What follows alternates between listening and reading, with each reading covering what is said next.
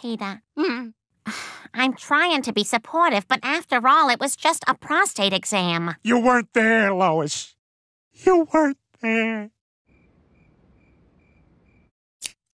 Who's that? Who are you? Where's Peter? Where is he?